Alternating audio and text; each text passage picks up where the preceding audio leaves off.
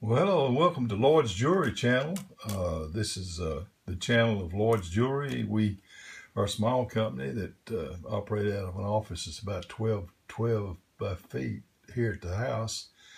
And our main venue we sell on is Etsy. And if you hadn't known about Etsy, I'd recommend go to Etsy.com and sign up.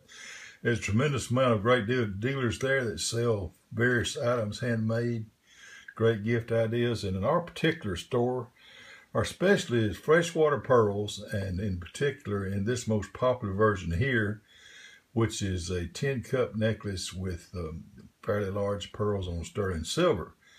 And speaking of sterling silver, the real subject of this video is care and cleaning of sterling silver.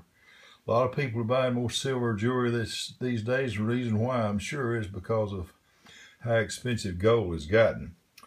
For more profile information about us, you can check around the internet there. And the best way to find everything that we do on the internet is just type on a Google search or any kind of search, Lloyd's Jewelry Pearls. And we offer a good variety of items on Etsy.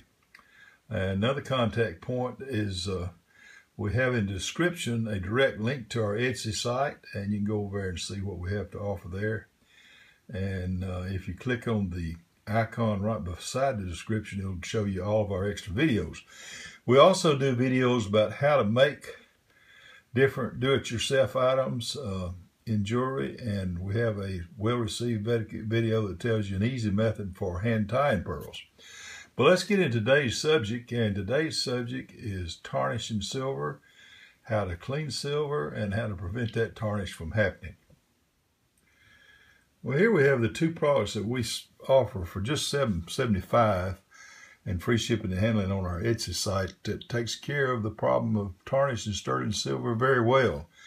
A lot of jewelry professionals use this uh, soft yellow sunshine cloth is the name of it to clean their display jewelry and it is really effective. Uh, all you have to do is rub your sterling silver with it and as you're doing so you'll see it turn black. I'll demonstrate that in a moment. And as it's turning black, it's removing what tarnishing components are on your silver now. It'll be on the cloth and away from your silver. On the right, we have a tab, and we provide these six at a time in a small bag as part of this kit. And just one of these in a Ziploc bag, squeeze the air out, put your jewelry in, and it will take the silver tarnishing elements out of the enclosed airtight area before they have a chance to uh, get on your silver, and that means you don't have tarnish on your silver that's in the bag and it's ready to wear when you bring it out of the bag after you stored it for a while. So these uh, anti-tarnish strips are great for storage and this uh, sunshine cloth, we provide two of those. They're small, at, uh, easy to handle at two and a half by three and three quarter inches. And we have two of them in the kit at 775 free postage in handling. And this is a great way to handle keeping your dirt and silver components and jewelry clean. So now let's do a little demonstration.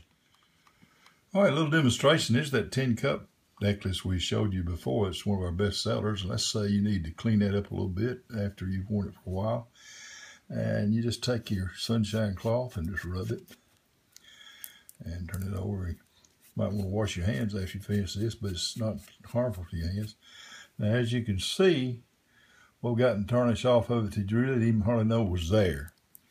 And another example would be, uh, say, the stake snake chain here.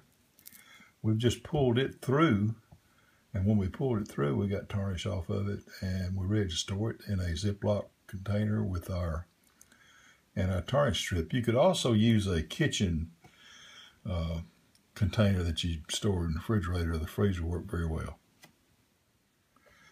All right, you're welcome to make any kind of comments and questions uh, uh, on our video, and sometimes uh, your question will end up in a video, the answer to it. As a gemologist, I enjoy sharing information you can use to include differences between pearl quality parameters and so forth.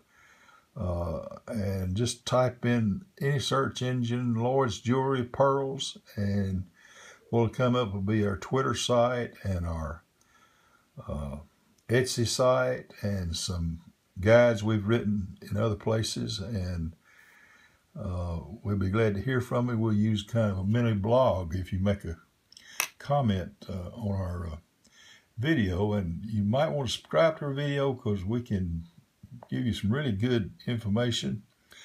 I am a graduate of GIA's Gemologist School and I enjoy sharing information that you can use, including how to pick a dealer for pearls and so forth on the internet. Even if you pick somebody else, you shouldn't, of course.